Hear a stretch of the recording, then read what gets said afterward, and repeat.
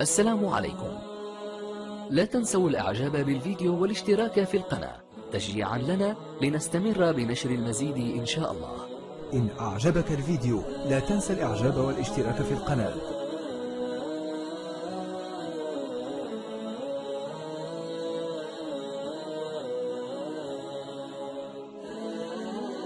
السلام عليكم.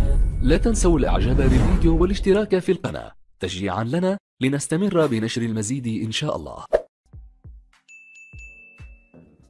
بسم الله الرحمن الرحيم. الحمد لله رب العالمين والصلاة والسلام على مولانا رسول الله وعلى آله وصحبه أجمعين. أيها الأحبة الكرام السلام عليكم ورحمة الله تعالى وبركاته. موضوعنا لهذه الليلة نتحدث عن تربية الأولاد. وننظر في القرآن الكريم في وصايا لقمان لابنه.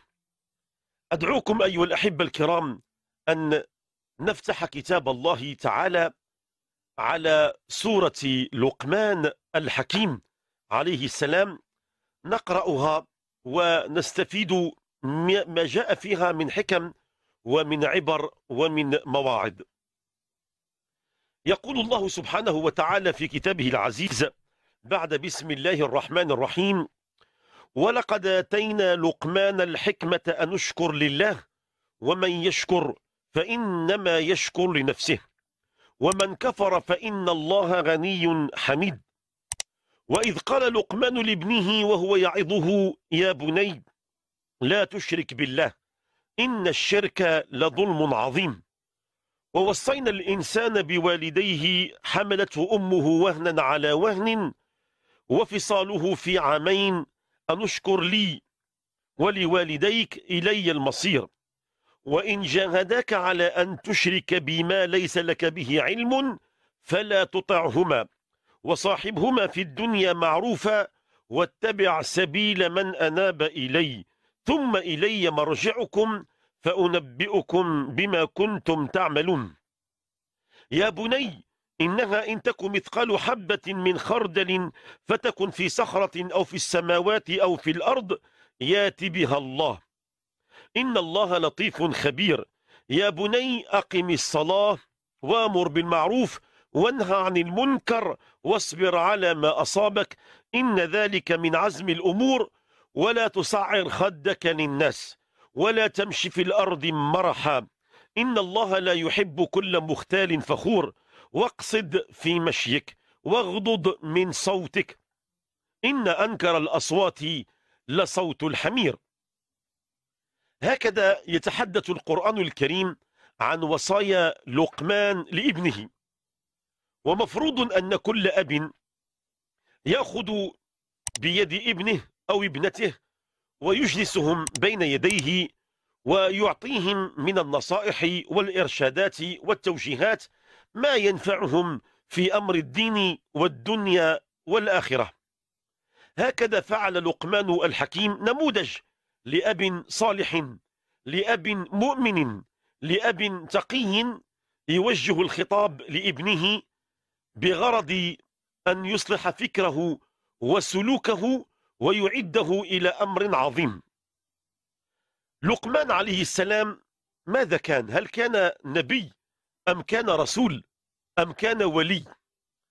لقمان لم يكن نبيا ولا رسولا ولا وليا وإنما كان رجلا حكيما الأصل فيه أن لقمان كان خياطا وهو يخيط كان يذكر الله تعالى كثيرا وكان فيما بعد نجارا. لكن المهمة التي قام بها أكثر هي أنه كان راعي للغنم. لأن كل الأنبياء والمرسلين كانوا يرعون الغنم. وفي مقدمتهم سيدنا النبي محمد ابن عبد الله عليه أفضل الصلاة والسلام الله كان يرعى الغنم على قارة أهل مكة. سيدنا موسى الكريم كان يرعى الغنم. لما قال الله تعالى وما تلك بيمينك يا موسى قال هي عصاي أتوكأ عليها وأهش بها على غنمي ولي فيها مآرب أخرى. هكذا كل الأنبياء وكل المرسلين كانوا يرعون الغنم. وسيدنا لقمان أيضا الحكيم كان راعيا للغنم لكنه فيما بعد لما تلقن الحكمة سيصير قاضيا ويشتهر أمره وسوف يصير هو قاضي بني إسرائيل. الغريب أين تعلم لقمان؟ من علمه الحكمة؟ يقال أن لقمان تعلم الحكمة من كثرة الصمت وطول التفكر في ملكوت الله وفي خلق الله. هنا سيتعلم لقمان الحكمة. الصمت الكثير. الصمت هو علم وفن. ليس كل منا يستطيع أن يصمت. الصمت فيه واحد الحكم والعبر والدلالات الشيء الكثير. ظل سيدنا لقمان يعاشر الناس في الأسواق وفي الشوارع وفي الحياة العامة ودائما يطيل الصمت لكنه يطلق العنان للفكر يتفكر ويتدبر في شؤون الخلق وفي شؤون الملكوت.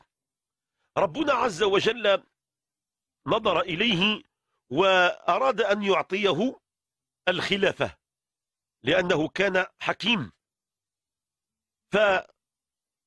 فسيدنا لقمان اعتذر فأعطاها الله تعالى لداود وكان داود عليه السلام مزامنا للقمان كلاهما في نفس الفترة وفي نفس المكان. أعطاها الله تعالى لداود فأخذها لكن لقمان تعذر قال لي يا رب هذه الخلافة مسؤولية وهذه المسؤولية فيها تبعات. فإن كنت تعطيني إياها وتعينني عليها أقبلها. أما أن تعطيني إليها وتوكل أمرها إلى نفسي فأنا لا أستطيع يا رب. فتعذر لقمان وتعجبت الملائكة فقالوا ما أعظم منطق هذا الرجل؟ إن منطقه حلو ومنطقه جميل. ففي ليلة من الليالي كان سيدنا لقمان نائما فرأى الملائكة يأتونه بقدح من الماء ويعطونه ليشرب. فلما شرب من ذلك الماء صار حكيما. الحكمة يؤتي الحكمة من يشاء. الحكمة قد لا تتعلمها قد لا تجبر للجلوس على الكراسي وعلى العلماء وعلى الخبراء. ممكن الحكمة تعطى إليك هبة من عند الله. وفتح رباني. سيدنا داود عليه السلام لما قبل الخلافة واعترضته مشاكل ومتاعب كثيرة قال يا ليتني يا ليتني لم آخذ الخلافة لأن فيها مسؤوليات وتبعات وصراعات وخصامات ونزاعات كثيرة. لكن لقمان بقي حكيما إلا أن بني إسرائيل أبوا إلا أن ينصبوه قاضيا ومن ثم لما اشتهر شأنه صار قاضي بني إسرائيل. هكذا يسمى لقمان الحكيم قاضي بني إسرائيل. لقمان عليه السلام في وجهه لم يكن جميلا لأنه كان في الأصل عبدا مملوكا ولم يكن آه، آه، آه، بشرته كانت سوداء عليه عليه السلام سيدنا لقمان. ولكن رغم كل هذا كان يمتلك قلبا أبيض ولسانا من نور وكان كل أفعاله وكل سلوكه كان فيها مرضاة للرحمن. ياما سجلت حوارات كثيرة بين لقمان وما بين معارضيه. مرة قال له أحدهم يا لقمان أنت قاض وتحمل هذا الوجه ما أقبحه من وجه؟ فقال لقمان يا فلان أتعيب الصنعة أم تعيب الصانع؟ أتعيب النقش أم تعيب النقاش؟ أنا مجرد صنعة أنا مجرد نقش ولكن الصانع والنقاش هو الحق سبحانه وتعالى. آخر قال له يا لقمان كيف تقضي بين الناس ولونك أسود؟ فقال له يا رجل إن كنت ترى بشرتي سوداء فإن قلبي أبيض. وقيل له يا لقمان أي الناس شرا؟ قال شر الناس من لا يبالي أن يراه الناس مسيئا هذا هو شر الناس أنه يفعل الخطايا ويفعل المخاطر ولا يأبه أن يراه الناس مسيئا سيدنا لقمان مرة أعطاه أحد المسؤولين الكبار أعطاه شاة وقال له آه، اذبحها وأخرج لي أطيب ما فيها. أطيب ما في الشاة فعلا قام بذبح الشاة فأخرج منها اللسان وأخرج منها القلب. قال لي خذ هذا هذا أطيب ما في الشاة اللسان والقلب. بعد أيام أعطاه شاة ثانية قال لي اذبح هذه الشاة وأخرج لي أبغض ما فيها. فلما ذبحها أخرج منها أيضا اللسان والقلب. قال هذا أبغض ما فيها. فتعجب ذلك المسؤول. قال له أتسخر مني يا لقمان؟ كل مرة أعطيك شاة تذبحها وأقول لك في المرة الأولى ائتيني بأطيب ما فيها أتيتني باللسان والقلب. والمرة الثانية قلت لك ائتيني بأبغض ما فيها أتيتني باللسان والقلب. فقال له ليس هناك شيء أطيب منهما إذا طاب ولا شيء أخبث منهما إذا خبث. فاللسان والقلب هما جوهر الإنسان. باش كنميزوا هذا صالح وذاك طالح. القلب هو أمر خفي لكن ما في القلب يظهر على اللسان. فاللي عنده قلب جميل كن متأكد بأن كلامه سيكون جميلا. ومن عنده قلب قبيح تأكد بأن لسانه سيكون قبيحا. ولو أنه يتعمد أنه يزوق ويلون سوف نعرفه في لعن الحديث لحن الحديث ولحن القول. هذه الوصايا التي أوصى بها لقمان لابنه ما هي؟ وصايا كثيرة. أول وصية سيدنا لقمان يقول ولقد آت هكذا يقول ربنا عز وجل ولقد آتينا لقمان الحكمة أن اشكر لله ومن يشكر فإنما يشكر لنفسه ومن كفر فإن الله غني حميد. ربنا يقول بأن الحكمة سيدنا لقمان لم يتعلم في المدرسة. ولا في الجامعة ولا في المعهد لم يتعلمها بالجلوس بين يدي العلماء وإنما أوتي الحكمة. ولقد آتينا لقمان الحكمة ربنا أعطاها له هدية. من ماذا؟ أعطاها له من حسن خلقه من تواضعه من كثرة صمته ومن كثرة تأمله في ملكوت السماوات والأرض. فالأحباب الكرام ديالنا اللي تعذر عليه أنه يقرأ. ماشي عيب. شحال ديال الناس دابا الآن كيسمعوا فينا؟ لم يقرأوا في المدارس ولم يقرأوا في الجامعات ولم يقرأوا في آه، الدور ديال العلم. ولكن ربنا عز وجل ممكن أن يعطيهم الحكمة. باش غتجي؟ بحسن الخلق بالتواضع بأن تكون مادا يدك للخير بأن تكثر من الصمت وبأن تكثر من التأمل في ملكوت الله يعطيك الله الحكمة. الحكمة ما هي الحكمة؟ هي كلمة جامعة لكل خصال البر والخير وهي وضع الشيء في محله.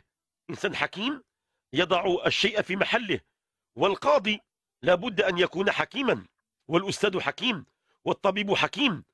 وبهذا صار لقمان قاضي بني إسرائيل. هي أكثر من العلم. العلم نوعين علم تأتي إليه وعلم يأتي إليك. علم كسبي وعلم لدني. هناك العلم الكسبي. تمشي المدرسة الجامعة عند دور العلم. تقرأ عند الأساتذة. تحفظ تردد. هذا علم كسبي. وهناك علم لدني. يقذفه الله تعالى في قلب المؤمن. وفي كلامه بلا تعب ولا مشقة. وإنما هدية من الرحمن. قال جل جلاله سبحانه ولقد آتينا لقمان الحكمة أن اشكر لله ومن يشكر فإنما يشكر لنفسه. إذا أعطاك الله نعمة وتريد أن تحافظ عليها ما ضريبتها؟ الضريبة هي أنك تشكر النعمة. أعطاك الله تعالى نعمة العلم اشكره بأن تحافظ عليه وأن تمتثل به وتنشره بين الخلق. هذا امتثال وشكر للنعم. أعطاك الله المال. المال تنفقه في المصلحة والمنفعة لا لنفسك وللناس. لا تبدره لا تفتخر به على خلق الله لا تظلم به لا تذهب إلى القمار والربا والاستغلال. إياك. فشكر النعمة أنك توفرها في طاعة الله. أعطاك الله جمال. إياك أن تستثمره في الإغراء وفي تقليب قلوب الآخرين. ذلك الجمال احفظه وإلا أخذه الله منك. هناك السلب. نعوذ بالله من السلب بعد العطاء. قد يعطينا الله عز وجل شيئا من فضله وقد يسلبه.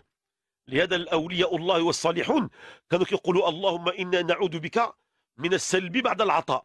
يعطيك الله منصب سلطة كرسي ديال الحكم كتحكم على واحد الدائرة على واحد الإقليم على واحد البلد. إذا استعملته في الخير زادك الله خير في خير وعلى الله شأنك وجعلك محبوب عند الجميع. وإذا لم تشكر النعمة واستعملتها في الطغيان والجبروت والحجرة الآخرين انتظر بأن الله تعالى سوف يسلبها. لهذا نردد كثيرا أيها الأحبة الكرام نقول اللهم إنا نعوذ بك من السلب بعد العطاء. سيدنا لقمان أول من ينبغي أن يعظه. نفسه أولا ثم بعد ذلك ابنه. فأول ما نعظ به هو أنفسنا. اللي ما كيوعدش نفسه؟ الكلام الموجه للآخرين لغو وعبث. أول شخص هو نفسك أولا تحملها بين جناحيك. يا نفس اتقي ربك واخشي يوما. لا بيع فيه ولا خلة ولا شفاعة. دائما نحذر أنفسنا. كلم نفسك. أمام المرآة قف بينها وقل يا نفس ألا تتقي الله؟ يا نفس ألا يكفي ما فعلت؟ يا نفس ألم يكفك ما فرطت من ضياع للصلوات وضياع للحقوق؟ يا نفس أول من نعد. ثم بعد ذلك أول من نعد بعد النفس هم الأولاد لأنهم خلفة سيكون وراءنا. سيدنا لقمان يقول وإذ قال لقمان لابنه وهو يعظه يا بني يا بني لاحظ بأن الأب يتكلم مع ابنه ويقول يا بني.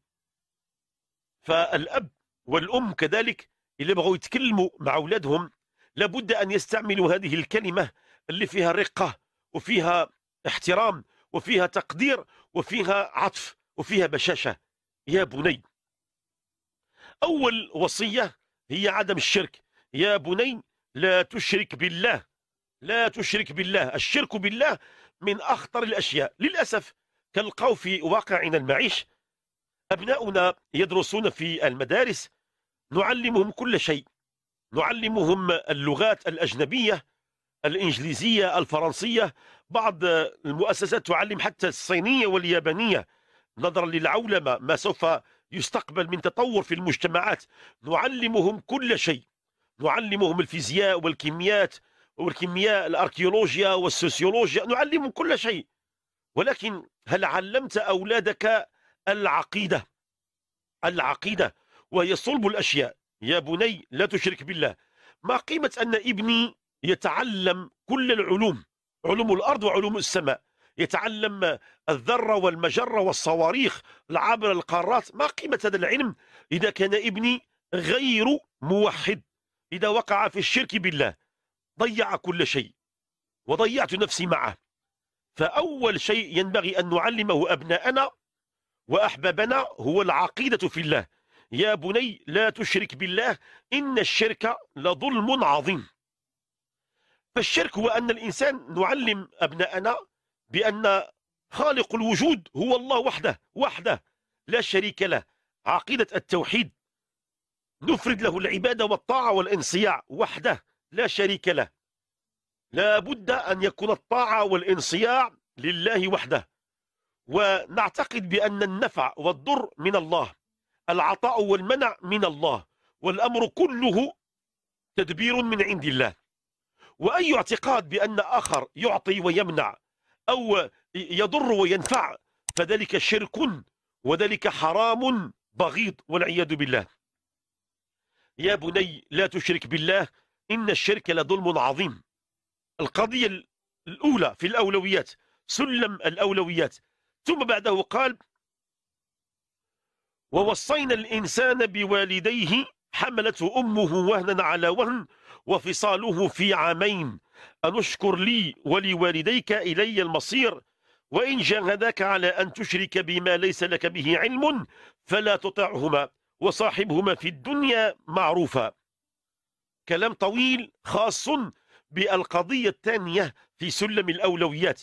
بعد العقيدة الصحيحة نعلم أبناءنا بر الوالدين وطاعة الوالدين.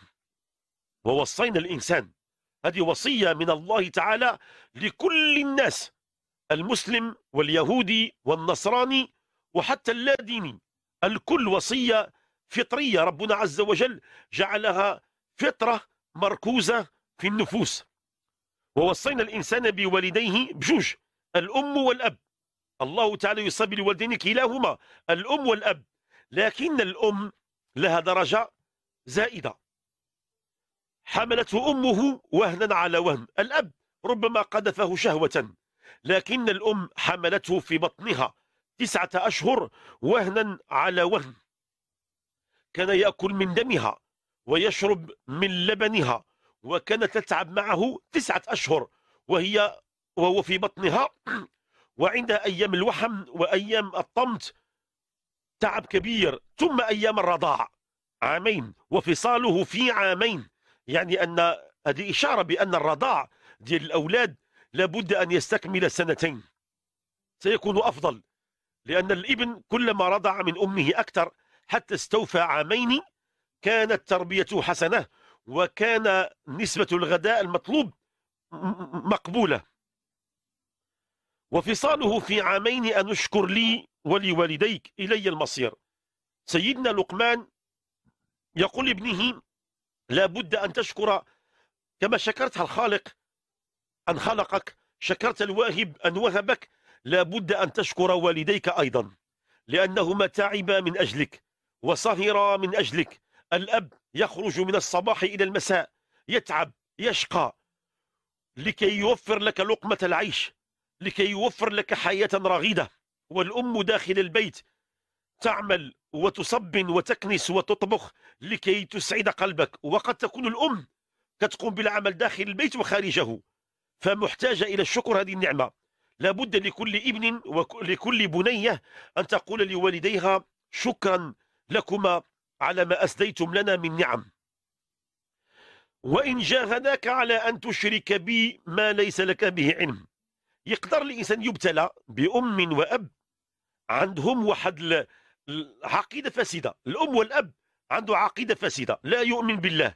أو عنده ابتلاء يشرب الخمر أو يفعل الزنا أو لا يؤمن بالقيم الأخلاقية.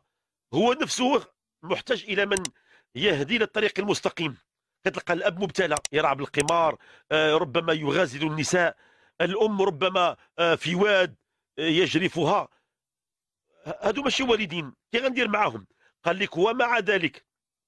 كيف ما كانوا الوالدين ديالك لابد أن تحترمهما ولا بد أن تخضع لهما. ولكن إن جاهداك على أن تشرك بي ما ليس لك به علم فلا تطعهما. إذا جاء والديك قال لك اشرك بالله أو قال لك راكن الحرية. خذ عيش أيامك عيش لياليك عيش مع الشباب تمتع مع راسك ما نسمع لهم أطيعهما نقبل الراس نقبل اليدين نعم لكن أن أطيعهما فيما حرم الله لا. حتى ولو كان مشركين ويكونوا مشركين نطيعهم لكن لا أتبعهما في شركهما. وإن جاهداك جاهداك بالقوة بالإقناع بالضرب على أن تشرك بي فلا تطعهما وصاحبهما في الدنيا معروفة لا بد أن تكون العلاقة مع والديك الصحبة بالمعروف. وخا يكونوا شاقين. قد يبتلى الإنسان بوالدين عنيفين. أم عنيفة. لسانها سليط كتسب وكتشكي وكتضرب. والأب ربما عنيف لا ينفق. ومع ذلك هذا امتياز. أعطى الله للوالدين. وصاحبهما في الدنيا معروفة واتبع سبيل من أناب إلي. ثم إلي مرجعكم فأنبئكم بما كنتم تعملون. ملي راسك في الضياع العائلة ضيعة الوالدين ضيعين. اش غدير في هذه اللحظة؟ لك الله عز وجل ابحث عن واحد الرفقة طيبة واحد الناس صالحين وسير معهم واتبع سبيل من أناب إلي. سير المسجد سير المدارس فيها أهل العلم حلقات لأهل الذكر. سير عند الناس الصالحين تعلم منهم. إلا والديك ما علموكش فاقد الشيء لا يعطيه لا تضيع نفسك معهم. اتبع سبيل من أناب إلي. ابحث عنهم. تجد الصالحين والصالحات. ثم يقول الله تعالى ثم إلي مرجعكم فأنبئكم بما كنتم تعملون. كذكرنا بأن الحياة راه قصيرة راه سرعان ما سوف تنتهي. سوف نرحل جميعا عن الدنيا. ونعود إلى الله تعالى فرادى وكل واحد منا سوف يسأل ينبأ بما كان يعمل. فعلى الإنسان أن يحرص على أنه لا تقع منه معاملة سيئة. وإن وقعت فليسرع بالندم والتوبة والاستغفار. ثم قال سيدنا لقمان يا بني إنها إن تك مثقال حبة من خردل فتكن في صخرة أو في السماوات أو في الأرض ياتي بها الله إن الله لطيف خبير. هذه الوصية جات ونحن في زحمة الحياة الدنيا. صراع حياة تموج. الناس عندهم مشاكل مشاكل ديال تعليم الأولاد مشاكل ديال الديون على البيت على المتاع سيارة مشاكل في العمل. حياة تموج بالمشاكل. الناس كيعياو كيتعبوا في مدق الباب يلقى الأبواب مغلوقة. في هذه الحالة سيدنا لقمان ينبئ ابنه بوصية. كيقول لي يا بني عندك تسحب راسك بوحدك في خضم هذه الحياة. تغلب تقول غادي نرفع الراية البيضاء ولا غنمشي نهاجر ولا غادي نهرب. إياك اصمد وواصل فإنك لست وحدك. الله تعالى معك يؤازرك يؤيدك ولا تخفى عليه خافية. إنها إن تكن مثقال حبة من خردل. حبة حبة صغيرة من خردل في صخرة أو في السماء أو في الأرض يأتي بها الله. ما تخافش الله تعالى لطيف خبير. اعلم بأن الله معك من جهة. عندك توقع في الخطايا وتوقع في الذنوب وتوقع في المعاصي وتقول الله لا يراني. الله يراك ويرانا جميعا. وبالمقابل إذا وقعت في ورطة ما تيأش ديما عرف بأن الله معك. ما معنى إن تكن مثقال حبة من خردل. الحبة من خردل هي صغيرة جدا. تكون في مكان ربك يعلمها. الله عز وجل لطيف خبير. بكل شيء خبرة. عندك تسحب بأن الله تعالى لا يعلم. لأن بعض الناس قرأوا الفلسفة. أش قالت لهم الفلسفة؟ أرسطو وأناكسيمانس وأفلاطون وغيرهم من كبار الفلاسفة. أش قالوا؟ قالوا الله تعالى خلق الوجود لكن لا علاقة له بالوجود. خلقه وانتهى. ولكن الداخل لا علاقة للإله بتدبير شؤون الناس. أنتم أعلم بشؤون دنياكم. لدرتها الخالق يتكفل بتسيير الكواكب والنجوم فقط. كبريات الأشياء. تسمى كبريات كبرى اليقينيات الكونية. لا أبدا. في ديننا الإسلامي يقول لك بأن الله عز وجل يعلم كل شيء. أي نعم ربنا عز وجل قيوم السماوات والأرض وأيضا يعلم تفاصيل حياتنا. بل ويتدخل في أدق الأشياء. شوف غير السمع إن الله يسمع ذبيب النملة السوداء في الليلة الظلماء على الصخرة الصلداء. ربنا على السمع يسمع الله تعالى كل شيء. حتى واحد النملة سوداء واحد النملة في واحد المنطقة نملة سوداء في واحد الغابة غابة مهجورة كيلقى غادية وتجري فوق صخرة صلداء صخرة. غادية فوق منها مسن. تيمومة. غادية فوق منها ربي كيسمع الدبيب الصوت ديالها. في ليلة ظلماء الظلام الدامس قدرة الله على كل شيء. لا تخفى عنه خافية.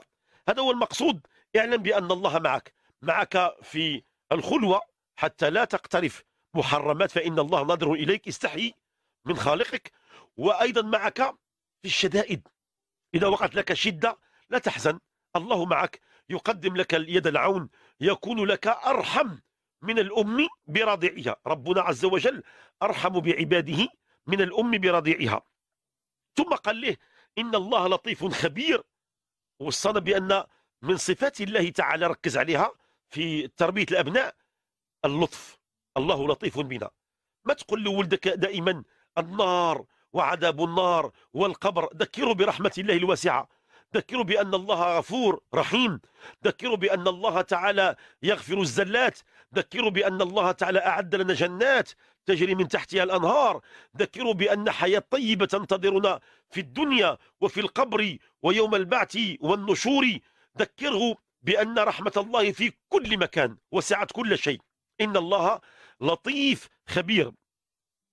لكي يصل الابن إلى هذا المستوى الإيماني لا يشرك بالله ولا يظلم والديه بالوالدين إحسانا ويكون يستحضر رقابة الله عليه. ماذا عليه أن يفعل؟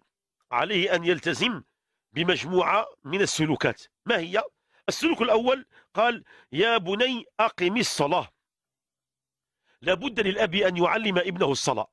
بعض الوالدين يقول لك المدرسة تعلم وهو أين هو دور الوالدين؟ لابد للوالد في سبع سنوات الأولى يبدأ في تعليم أولاده الصلاة. النبي محمد صلى الله عليه وسلم ماذا قال؟ علموا أبناءكم الصلاة لسبع واضربوهم عليها لعشر وفرقوا بينهم في المضاجع. لابد أن تعلم ابنك الصلاة. لا تقل لي ما عندي وقت. إذا, لك إذا كنت أنت مشغولا فلك أن توصي الزوجة. زوجتك أم الأولاد معهم في البيت يوميا أسند لهذه المهمة لكي وأوصيها بذلك لكي تعلم الأبناء الصلاة ابتداء من سبع سنوات. حينما يأتي وقت الصلاة قل لأبنائك تعالوا معي نتوضأ جميعا. تعالوا معي نصطف نصلي معا. أو تعالوا معي إلى المسجد. علم أبنائك الصلاة. وإلا وإلا وإلا فسوف تحاسب حسابا عسيرا. مرة واحد سيد كبير السن عنده خمسين سنة ولا يصلي. وأراد أن يصلي ولا يعرف كيف يصلي. فسألوا فقيها قالوا ما حكم هذا؟ قالوا العيب ليس عليه وإنما العيب على أو والديه لمع المولى صلاة مع المولى ركوع ولا سجود ولا تحية ولا قبلة. اللوم والعتاب على والديه. كل واحد منا عنده وليدات خاصة يعرف بأنه مسؤول. ما تسنى المدرسة تعلمك التعليم عندنا فيه مشكلة كبيرة. والقيم الدينية إلا بقيت كتعتمد على المدرسة راه ولادك غادي يبقاو بلاش. لابد أن تعلمهم القيم الأخلاقية وال واحد الوقت كانت المدرسة وكان دور الشباب وجمعية المجتمع المدني والإعلام والشارع والأسرة والعائلة الكل يتكاتف من أجل هذه القيم النبيلة. الوقت آه، الحالي مقلق. هناك أشياء مقلقة. الأولاد كيتعلموا أشياء غريبة. فلهذا على الوالدين أن يعرفوا خطورة المسؤولية الملقاة على أنفسهم. يا بني أقم الصلاة. على المبلة أحسن أقم. باش أصلي. لا أقم الصلاة. كاين الولد اللي كيمشي يصلي با كيحضيه. ملي كيمشي الأب ما كيصليش. بل بعض المدارس اللي هي كتسمى قرآنية وكيعلموا الأطفال الصغار الصلاة كتلقى الوليد كيصلي الظهر والعصر. حتى هو في المدرسة. حتى الأستاذ والأستاذة كيعلموهم وكيجبروهم كيصلي الظهر والعصر. لكن المغرب والعشاء في دارهم ما غيصليش. والفجر ما غيصليش. هذه صلاة فقط من أجل النقطة. هذه بحصلة الأسياد. صلاة الأسياد في الجمعة والأعياد. كاين بعض الأسياد ما كيصليوش. ناس نافذين في السلطة. كيصلي نهار الجمعة. يلبس جلابة بيضاء ولا في الأعياد. أعياد لأن دينية أو وطنية خصو يظهر. وهذا لا يليق. الصلاة خصها تكون في كل وقت وحين. إذا علمنا الغش في الصلاة لأولادنا راه ملي غيكبروا غادي يبقاو يغشوا فيها. فلذا قال لم يقل لي صلي قال لي يا بني أقم أقم الصلاة. هي يقوم بها بكاملها. ثم قال وأمر بالمعروف وانهى عن المنكر. واصبر على مصابك إن ذلك من عزم الأمور. هذا مبدأ خطير. يعني الصلاة هي في المسجد داخل الجدران أو في البيت. لكن مبدأ الأمر بالمعروف والنهي عن المنكر هذا في المجتمع. هنا غلقوا بأن العلمانية كتقول لنا بأن الدين يكون في المسجد ودور العبادة في الكنيسة والمعبد فقط. أما في الحياة العامة الدين لا دخل له بذلك. هنا القرآن الكريم يقول لا. الدين في كل مكان الدين في المسجد في دور العبادة وفي المجتمع وفي البرلمان وفي التلفاز وفي الإذاعة وفي الأسواق وفي الملاعب وفي دور الثقافة وفي المعرض الكتاب وفي كل مكان. الدين لابد أن يكون حاضر. هذا مبدأ ما يسمى بالأمر بالمعروف والنهي عن المنكر. عنده علاقة بالحرية الشخصية والحرية العامة. حدود الحرية الشخصية والحرية العامة. بمعنى يا بني إذا رأيت منكر؟ فعليك أن تنهى عنه. لا تقول كل واحد هو حر في نفسه. لا نحن جميعا لسنا أحرار. إذا وجدت في عيبا ذكرني يا أخي.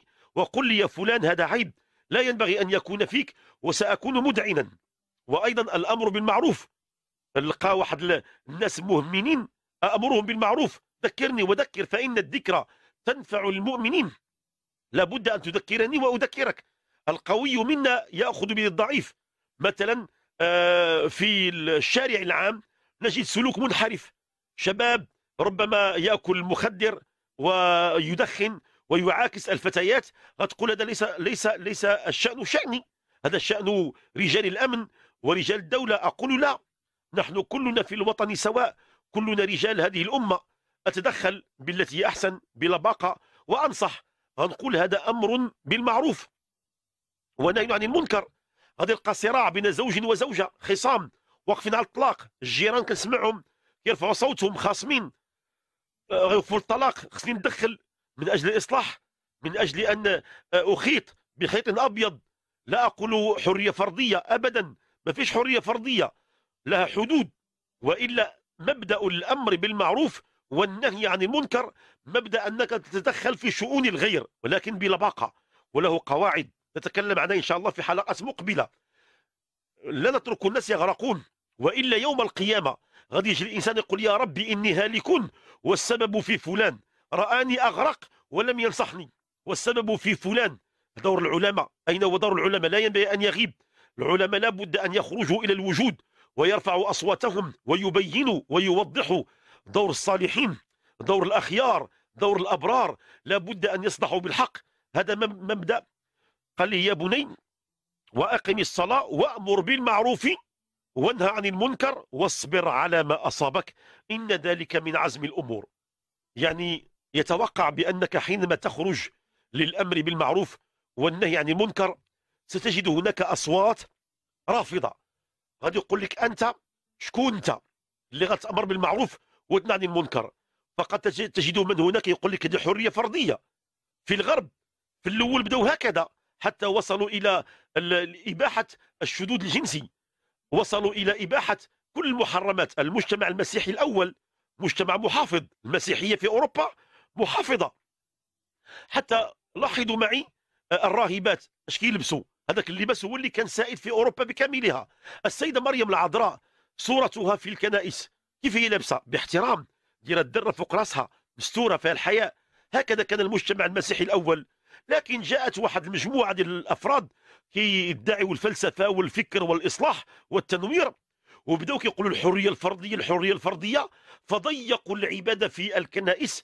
وخلاوا المجتمع فيه عري فيه محرمات فيه مسكرات فيه ضلالات وضاعت المجتمعات رغم الرقي المدني والتقني والاقتصادي ولكن على مستوى القيم الأخلاقية ضياع فادح. المجتمع الإسلامي ليس مثلهم المجتمع الإسلامي مجتمع القرآن. إلا كانت المسيحية غير عقيدة بدون شريعة المسلمون عندنا عقيدة والشريعة قرأ المسيحية. غتلقى بأن تعليمات وإرشادات تربوية فقط ما فيهاش شريعة إلا بعض الأشياء البسيطة. أما الإسلام عقيدة وشريعة وقيم أخلاقية ودين الله فوق الأرض لا نخاف من بعض الذين يهددوننا بأنكم تقتحمون دائرة الحرية الفردية وتريد أن تضيق على الناس. أي نعم أوافق من ناحية إلا كان الإنسان كيتكلم وهو لا يدري حقيقة الدين لابد أن نتكلم عن محاسن الإسلام. ونحن نأمر بالمعروف ونهى عن المنكر نتكلم عن محاسن الإسلام. لما أنهى عن الخمر مثلا أقول الخمر هي فعلا آه، كتزيد الضريبة وكنضخموا بها الميزانية ديال الدولة. لكن بالمقابل الخمر سبب للطلاق الخمر سبب لحو... لحوادث السير الخمر سبب للجريمة الخمر سبب لكذا والانتحار وكذا وكذا وكذا. محاسن الإسلام. إذا تكلمت عن الصلاة غنقول لك الصلاة فيها صلة بين الله تعالى الصلاة فيها آه، تربية روحية فيها علاج نفسي فيها كسب طاقة وهكذا. كل حاجة فيها أمر أو نهي لابد أن أبين محاسن الإسلام. هذا معنى وأمر بالمعروف ونهى عن المنكر وغتلقى من يعارضك غتلقى من يعارضك. هنا قال لك الله تعالى اصبر.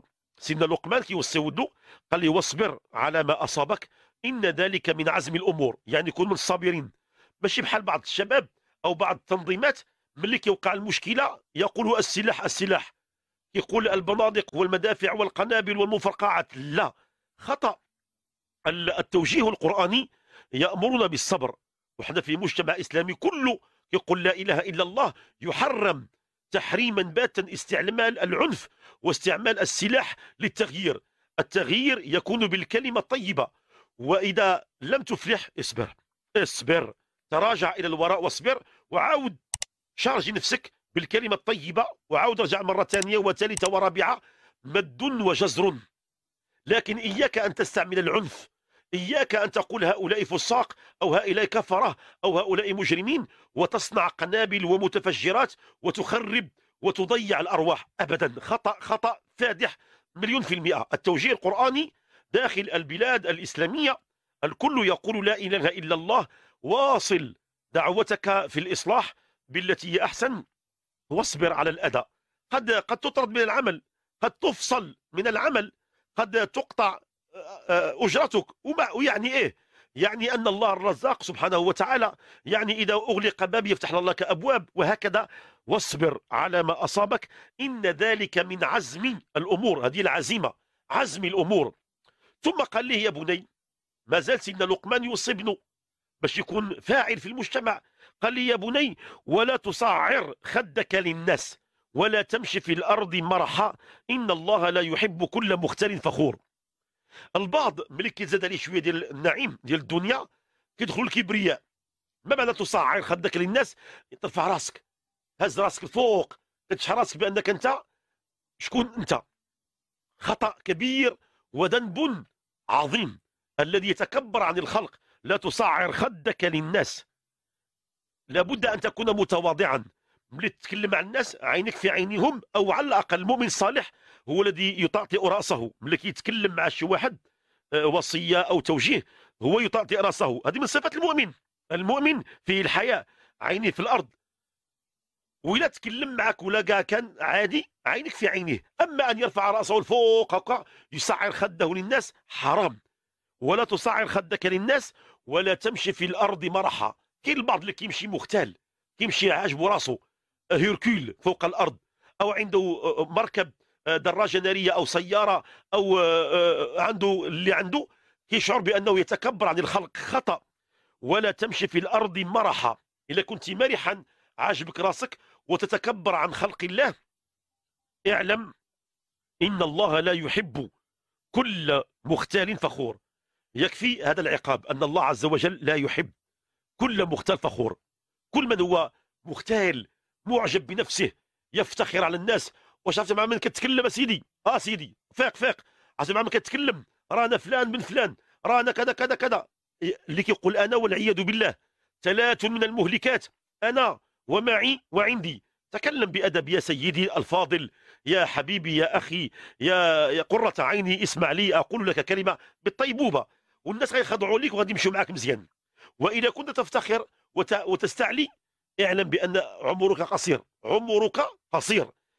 رأينا كثير من الناس يستعلون في الأرض وعمرهم قصير وأصبحوا في خبر كان يكفي أن الله تعالى لا يحب كل مختل فخور ثم قال واقصد في مشيك. المشي ديالك في أي حاجة كن مقتصد. سير بالوسطية سير بالاعتدال. واغضض من صوتك. ملي كتكلم مع الخلق إياك أن تفزعهم بصوتك وتركب في قلوبهم الهلع. إذا كان رفع الصوت يكون في الأمر بما أمر الله تعالى أن تدل الناس على الخالق سبحانه وتعالى لكن أن ترفع صوتك وتخيفهم كما يقع آه، عجعج في بعض المجالس المنتخبة وغيرها. لا أغضض من صوتك. إن أنكر الأصوات لصوت الحمير. ربنا عز وجل يذم كل من يرفع صوته من أجل أنه يثير الفزع في قلوب الآخرين. الكلام طويل أيها الأحبة الكرام وصايا لقمان كثيرة وكثيرة جدا. إذا أردنا أن نلخصها هذه الوصايا التي يجب على كل أب أن يعطيها لابنه ولأبنائه. الوصية الأولى لا تشرك بالله. الوصية الثانية الإحسان بالوالدين. الوصية الثالثة اعلم أن الله مطلع على جميع أمورك. الوصية الرابعة احرص على إقامة الصلاة. الوصية الخامسة وهو التزم بمبدأ الأمر بالمعروف والنهي عن المنكر. والوصية السادسة اصبر على المصائب. والوصية السابعة التواضع وعدم الكبر. والوصية الثامنة والأخيرة اخفض الصوت في الحديث. هذه مجمل الوصايا التي أوصى بها لقمان الحكيم ابنه وهي كثيرة جدا بالآلاف. لكن القرآن ركز وسلط الضوء على هذه الثمانية أوصاف. نسأل الله تعالى أن يمتعنا وإياكم بالنظر إلى وجه إليه الكريم. ونسأل الله تعالى أن يلهمنا وإياكم حسن الخلق مع أنفسنا أولا ثم مع أولادنا ومع الناس أجمعين. أيها الأحبة الكرام لن أطيل عليكم. سنبقى مع فاصل قصير. نستمع وإياكم إلى وصايا لأبنائنا وبناتنا. وبعدها نفتح خطوطنا الهاتفية لنستقبل مكالماتكم. وبعد ذلك بإذن الله تعالى نتحدث عن مشاكل تربية الأولاد وما هي أهم الإرشادات والتوجيهات لحسن تربية أبنائنا وفلة أكبادنا. فابقوا معنا. السلام عليكم. لا تنسوا الإعجاب بالفيديو والاشتراك في القناة. تشجيعا لنا لنستمر بنشر المزيد إن شاء الله.